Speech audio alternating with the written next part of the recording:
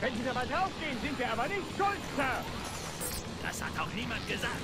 So, wo ist der Kampf? Na klar.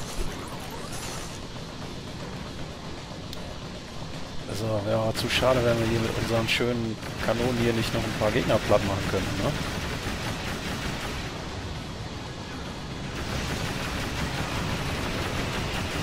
Also einen schönen Transporter hier auseinandernehmen.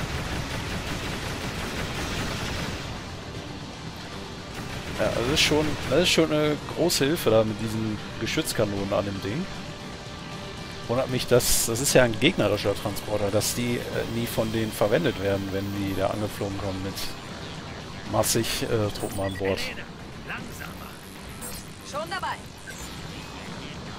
Ja, vielleicht ist es ja auch einfach ein anderes Modell.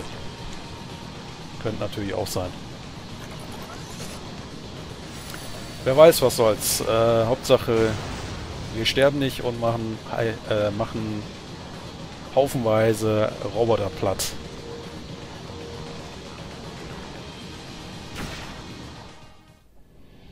So, was ist das mit unserer Spazierfahrt? Ich erhöhe die Geschwindigkeit. Verstanden.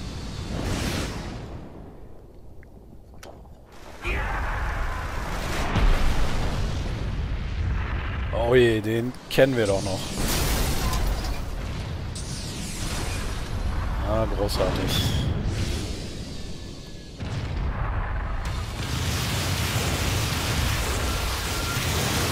Ach du verweckt nochmal.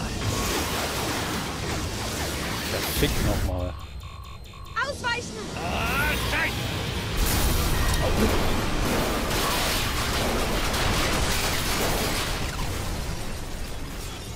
Sam! Ja komm, das haut ihn doch nicht um, oder? Das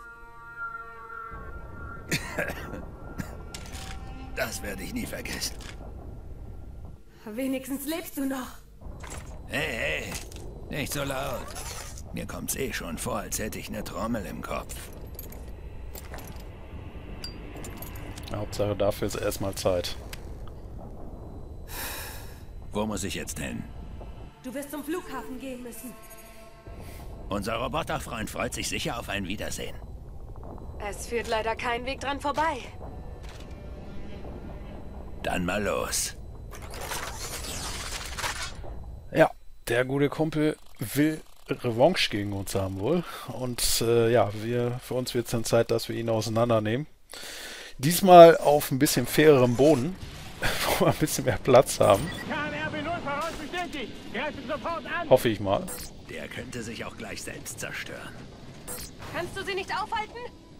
Nein, wir sind nicht befugt, ihnen Befehle zu erteilen. Albtraum. Wollen wir noch mal sehen, was das für ein Albtraum ist. Oh, wer seid ihr? Irgendwelche komischen Kugeln.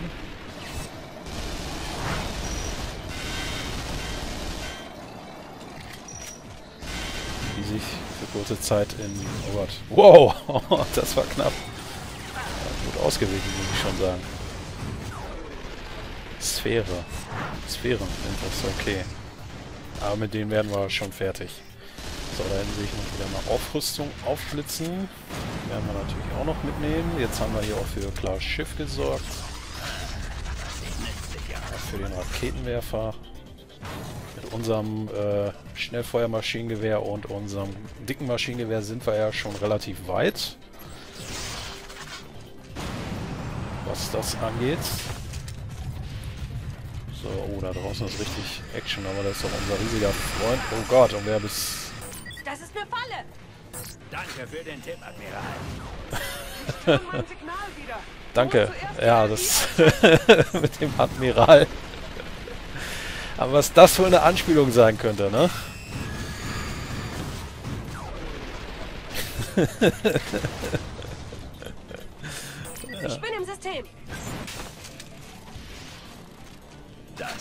lustig. Aber so richtig.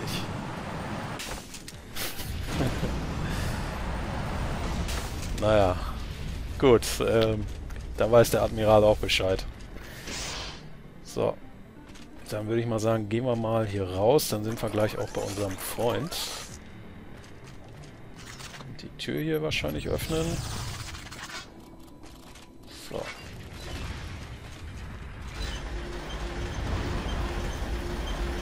Ah ja.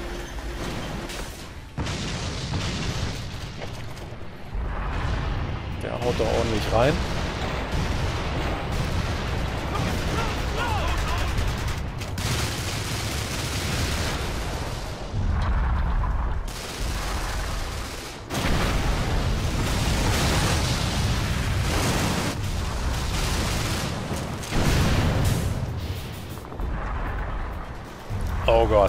Zwei von denen. denen? Die halten mich für einen Masochisten.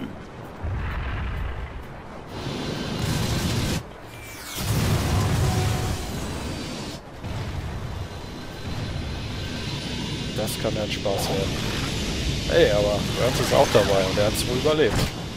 Sehr gut. Hast du mich vermisst, Schätzchen? Scheiße. Du? Tot hast du mir um einiges besser gefallen. Und du mir, als ich dein Geschwafel nicht hören musste. Los geht's. Na gut. Wir auf gegen beide Argus-Formen. Nicht als erstes Mal werden wir uns um den Laufburschen hier kümmern. Der ist halt auch gefährlicher mit seinen Angriffen. Ja, wie ich vorhin schon gesagt habe, jetzt haben wir hier wesentlich mehr Platz, äh, um den Angriffen auszuweichen. Und wir haben uns ja auch ein bisschen verstärkt dank einiger Upgrades, die ja auch den Schaden erhöhen, den wir mit unseren Waffen austeilen können. Und wir haben immer noch einen schönen Raketenwerfer im Gepäck. So, den holen wir erstmal von den Beinen. So, dann gehen wir schnell zu ihm hin. Ach, Mist. So, schießen wir immer eine Ladung in den Kern. Ja, macht gut Schaden. Den haben wir auch noch reingekriegt, bevor sich die... Bevor der Verschluss wieder äh, Zugang ist. Oh, fuck. Und dann sind wir genau in... Nee, der Rakete weiche jetzt aber aus. Genau in der von der Spinne. Ach du Scheiße, jetzt habe ich mein System bereits... Äh, fuck. Schnell in Deckung bringen. Hüpfen und rollen uns um unser Leben.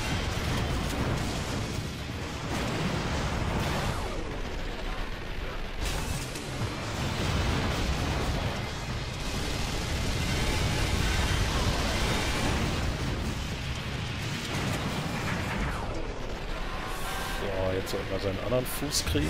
Jawohl. Oh, und wir lösen ein Quicktime-Event aus. Ist noch ein bisschen anders. Oh, jetzt gibt es einen auf die Rübe.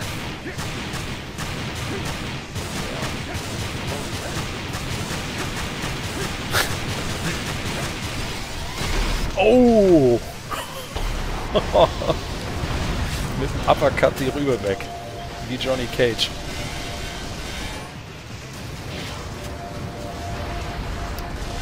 Scheiße, Mann. War keine gute Sicht auf den Kern da hinten. Aber ich glaube, dadurch, dass er jetzt nicht mehr wirklich sehen kann, ist er auch nicht mehr so schnell im Umdrehen. Wir können ihn von hinten ein wenig... Ach, scheiße. Naja, doch. Also so langsam wie eine Schildkröte ist er leider auch nicht. Wahrscheinlich doch besser, wenn wir ihn für eine Zeit lang außer Gefecht setzen und nicht unser Magazin in diesen Träger da ballern.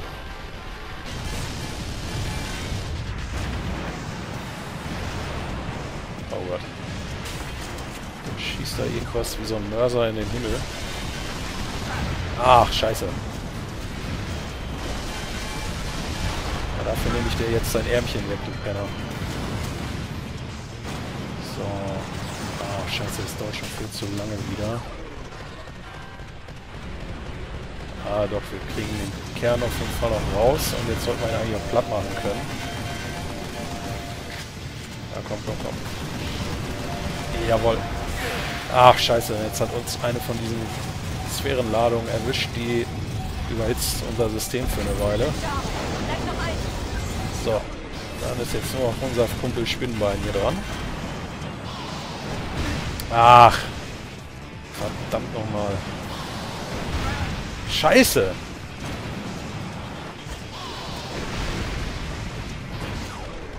Ach Mann, jetzt drücke ich schon den falschen Knopf hier. So.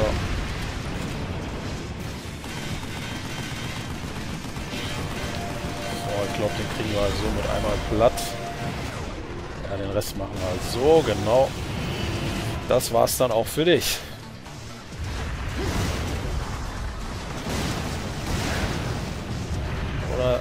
Klicken müssen wir. Und schießen. Und ich kann irgendwie nicht nach oben zielen, aber... Macht auch nichts. Schöne Balletteinlage.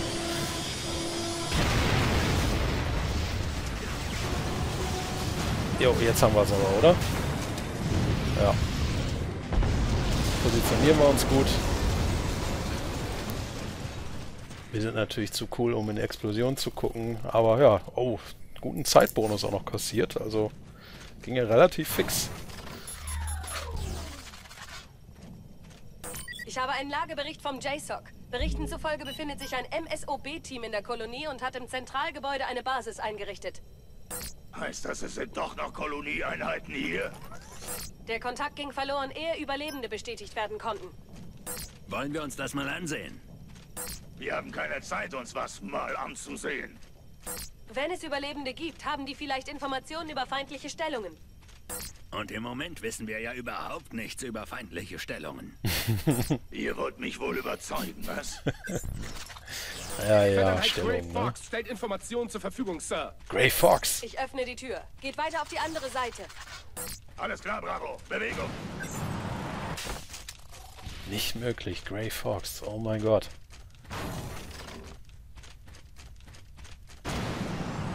Sowas aber auch. Ah, nee, ist hier nichts nützlich. Doch, da ist doch ein Sturmgewehr. Das sieht nützlich aus. Oh ja. Gut für unsere Aufstufung. Hm. Ja, können wir mal mitnehmen. Im Moment haben wir eh keine Raketenwerfermunition mehr. Das nehme ich mit. So, ach, okay, da liegt jetzt...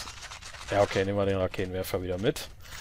Haben jetzt auch wieder Munition. Sollten wir noch einen finden, können wir den ja wieder aufstufen. Ähm, war aber da hinten sonst nichts. Okay. Hm. Nee. Alles klar, dann gehen wir mal feucht und fröhlich weiter. Oder sliden weiter. Erfassungslaser, nee. Und was hast du für mich? Sturmgewehr. Ganz ideal. Sollte aber reichen.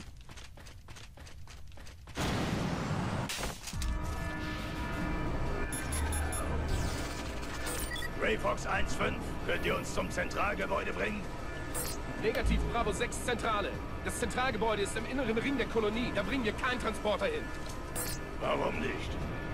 Eine Einrichtung am Grand Hill stört sämtliche Frequenzen mit einem direktionalen Sender. Unsere Navigation funktioniert nicht zwischen dem nördlichen und zentralen Ring. Dann sucht eine Möglichkeit ohne Navigationssysteme. Die einzige Möglichkeit wäre, zum Störsender zu gehen und ihn abzuschalten. Sir, Na gut, Ray Fox 1-5. Wie viele Einheiten hat der Feind da draußen? wissen wir nicht genau Bravo 6 Zentrale, aber ich schätze, dass es mittlerweile ziemlich viele sind. Bravo 6 Zentrale. Bravo 6 Zentrale. Der Flugboot 5 hier. Treffen auf Widerstand am Red Hill. Schwere Verluste. Wiederhole. Schwerer Widerstand und Verluste. Ende. 05, ungefähre Einheitsstärke. Ende. Scheiße. Das weckt nicht gerade Vertrauen, Burns. Wir müssen den verdammten Grand Hill einnehmen. Ist er von strategischem Wert? Bringen die euch in der DARPA-Schule diese großen Sprüche bei? Da draußen wird nicht rumgeeiert, Mädels. Wir machen Kleinhaus aus denen. Bestätigt Bravo 6 Zentrale. Na gut, ja, am Grand Hill, also auch ein äh, großartiger Basketballspieler, der dessen Karriere leider ja, durch Verletzungen sehr, sehr geplagt wurde. Also, also dies, dieses ist auf jeden Fall ein ziemlich heftiges Kapitel, wo ich immer so meine Schwierigkeiten habe. Also könnte gut sein. Ja. ja. Könnte gut sein, dass man da einen Rülpser durch die Backen geht und dass wir hier Schwierigkeiten haben werden. Oder vielleicht sogar den ersten Tod äh, erleiden können. Und da führt kein anderer Weg hoch. Wenn es leicht wäre, wären wir schon fertig.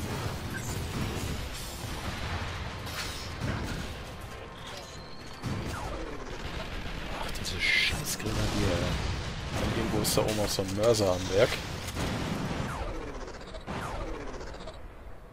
Keiner da? Nee. Upsala. Genau in seine scheiß Gewehrklinge. Dieser Container bewegt sich. Da drin bewegt es sich gewaltig. Es geht los. Knallt sie der Reihe nach ab. Na gut. Oh, da geht's aus dem Gebäude. Da könnten wir doch mal gut eine Rakete reinjagen. Bam! das hat die mal alle mit einem Schuss aus dem Weg geräumt. Ich übertreffe mich noch selbst. Oh, da kommt der nächste Haufen Scheiße aus dem Transporter dort. Ja, es war dieser Container. So. Weg mit dir und mit dir. Kameraden. Wollte ich helfen, aber der stirbt dann vor meiner Nase. Oh Gott. Kriegen wir diese ganzen Raketen aus. Ja, dich habe ich nicht übersehen, mein Freund. Dann kommen die nächsten den Hügel runter.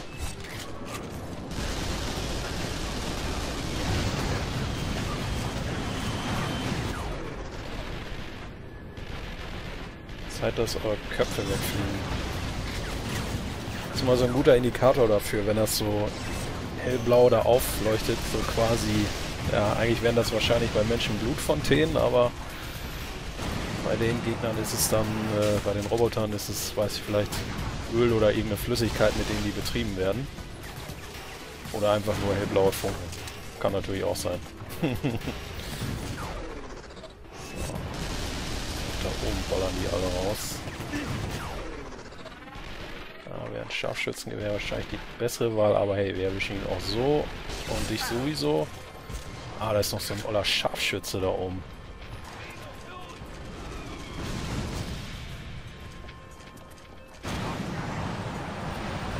Da leuchtet es auch noch grün, das heißt, da ist wieder Aufrüstung für uns parat.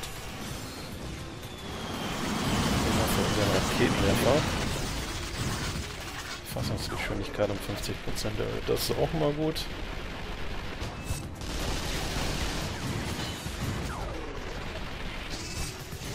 Das ist der Kopf.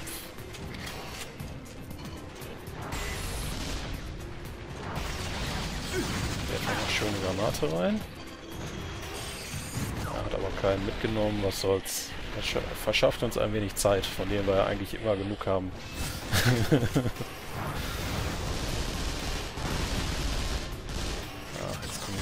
Treppe, werfen wir nochmal eine Granate. So, die nimmt jetzt mal was mit. Das wird lustig. So, und unser ähm, schweres Maschinengewehr, das ist jetzt auf der höchsten Stufe angekommen. Sehen wir an diesem Zeichen, an diesen drei Sternen.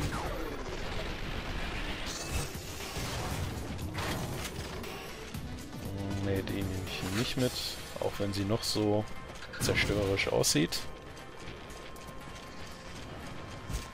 Von diesen neuen Waffen, die in der Originalversion äh, nicht mit drin waren. Raketenwerfer auf jeden Fall.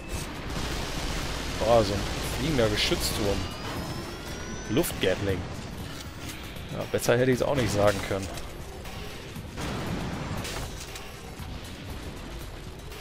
So, durchquere den Containerhof. Äh, nee, das lassen wir da. Das scheint wohl der hier zu sein. Oh Gott. Ja, da können sich natürlich diese kleinen Fußsoldaten immer gut drin verschanzen.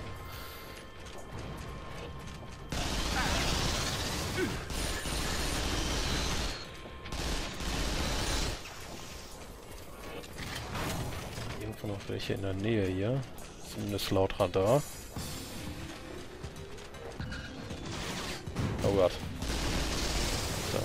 Du? Millers Kuh. Oh, hinter uns.